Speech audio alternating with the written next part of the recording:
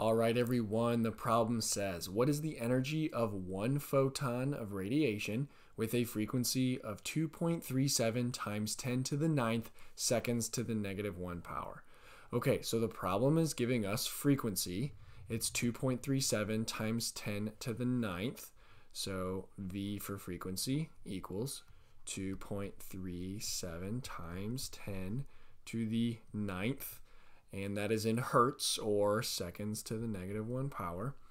And the question is asking for energy. So we want to find E. Okay, that's what we're solving. So, given the information from the problem, given frequency and looking for energy, we're going to use this equation here, where E, which is energy, is equal to H, which is known as Planck's constant, times V frequency.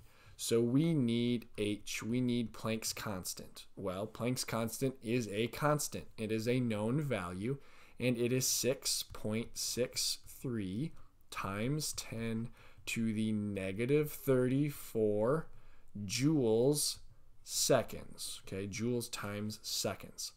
So we have everything we need. Let's plug in the equation. So again, E is energy is equal to Planck's constant 6.63 times 10 to the negative 34 joules times seconds. And then we're going to multiply that by V frequency. And frequency was given to us, and that is 2.37 times 10 to the ninth. And those units are seconds to the negative one power. Okay, let's look at our units. Let's see if anything cancels.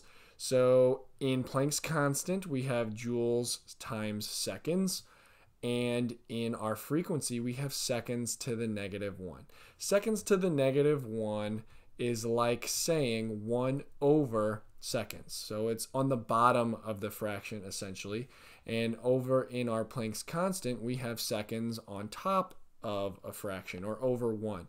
So what's going to happen is those are going to cancel out and we're going to be just left with the unit of joules, which makes sense because we're looking for energy. So now we're just going to plug this into our calculator.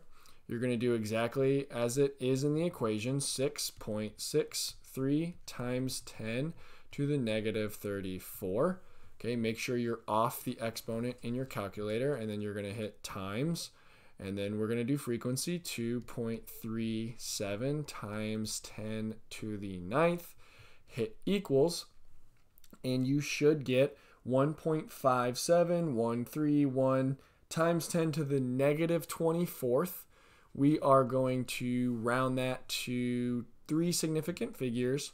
So we will get energy equals 1.57. We'll stop there. But remember, we have to add the times 10, and it is to the negative 24th power, and our units are joules. Okay, so final answer. What is the energy of a photon with a frequency of 2.37 times 10 to the ninth seconds to the negative 1 power? That would be 1.57 times 10 to the negative 24th joules.